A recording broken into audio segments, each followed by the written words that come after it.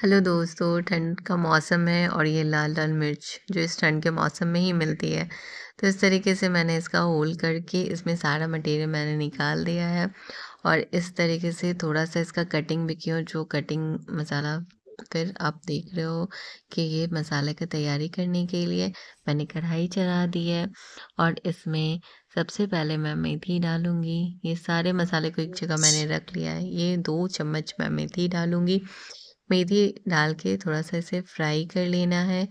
Fry करने के बाद अब देख रहे हो कि मैं धीरे धीरे फ्राई करूँगी। अब जैसे प्रोसेस हो रहा है मैं सारा चीज़ दिखाऊँगी कि किस कितना टाइम लग रहा है आपको। फिर ये दो डेढ़ कप जो है ना मैं सौंप डालूँगी ठीक है? सौंप डाल के इसे फ्राई करूँगी। इसको फ्राई करने के बाद इसमें अब जाएगा जीरा जो एक से डेढ़ कप जी जीरा जाएगा ठीक है? आप इसके अकॉर्डिंग आप मेज़र करके आप डालोगे ना तो एक के के लिए इतना मसाला बहुत है ठीक है? तो इस तरीके से मैंने रोस्ट कर लिया एकदम धीमा आँच है तो अब एक कप पहले मैंने दिया था जीरा और ये एक कप अभी दे रही हूँ ठीक है? तो इस तरीके से आप जीरा दिए और जीरा को रोस्ट कर लेना है। रोस्ट करते धीरे धीरे भूनना है कि स्मेल अपने आप आने लगेगा। उसका सुगंध इतना अच्छा होता है कि पता चल जाएगा कि हाँ अब ये मसाला मेरा भुन चुका है। ठीक है? तो इस तरीके से मैंने भुना हुआ सब निकाल लिया और ये जो राई थी तो ये ढाई कप अप्रॉक्स हुआ था। इसे हमें अच्छे से हल्का ही गर्म था ना, बस उसको थोड़ा सा रोस्ट कर, उसका नमी निकल जाए, क्योंकि अचार में नमी नहीं होना चाहिए, जिससे वो ख़राब हो जाएगा। ये हमारा धनिया पाउडर है बिकॉज़ धनिया था नहीं खड़ा, इसलिए मैंने पाउडर जो था वो यूज़ कर लिया। तो इसे भी मैं थोड़ा सा रोस्ट कर दूँगी, धनिया पाउडर। तो आप देख रहे हो कि सब कुछ ऑलमोस्ट फ्राई हो चुका है। ये भी धनिया पाउडर भी फ्राई कर दूँ, कर दी हूँ, और ये सारे जो है सब इसे डाल के मिक्स मिक्स ग्राइंडर में पीस लेना है।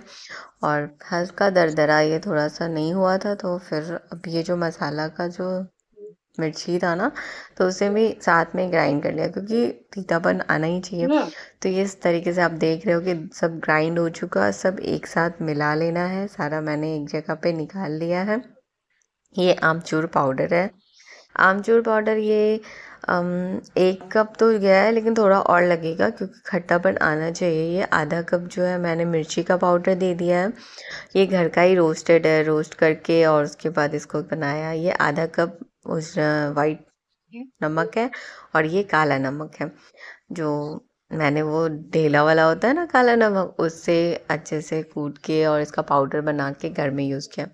अब इसको मिलाने के लिए तेल तो चाहिए क्योंकि वो सारे मिर्ची में कैसे भरेंगे?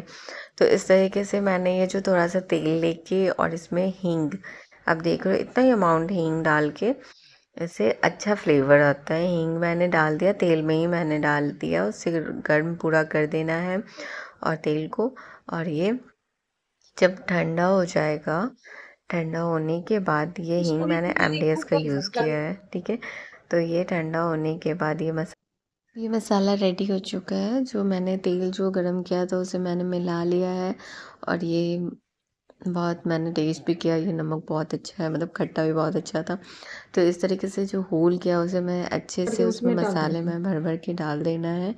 अच्छे से क्योंकि ज़्यादा मसाला डालना चाहिए। ये अच्छे से भर जाता है तो और अच्छा टेस्ट और ये आता है। मसाले सब मिर्ची में पहुँच जाना चाहिए। तो इस तरीके से ऑलमोस्ट सारा रेडी हो चुका है। आप देख रहे हो ये वन के जी अराउंड ये सारे मिर्ची हैं। तो अगर आपको ये वीडियो पसंद आ रहा है तो प्लीज़ मैं वीडियो को सब्सक्राइब करें लाइक करें शेयर करें आप सपोर्ट करें जिससे मैं और अच्छा अच्छा वीडियो शेयर करूँ आप लोग को। इस तरीके से मैंने इसमें भरने के लिए भी तेल डाल दिया है। गरम कर लिया था वैसे ठंडा हो चुका है तो इसमें मैं भर दी हूँ। ऐसे ये शीशे के जार में ही जाता है, बट मैं मेरे पास नहीं था तो इसलिए मैंने प्लास्टिक के ही डब्बे में मैंने इसे भर दिया। आप देख रहे हो, अराउंड हो गया तो इस तरीके से ये रेडी है। आपको वीडियो पसंद आता है तो प्लीज़ लाइक करें, सब्सक्राइब करें और थैंक यू, बाय।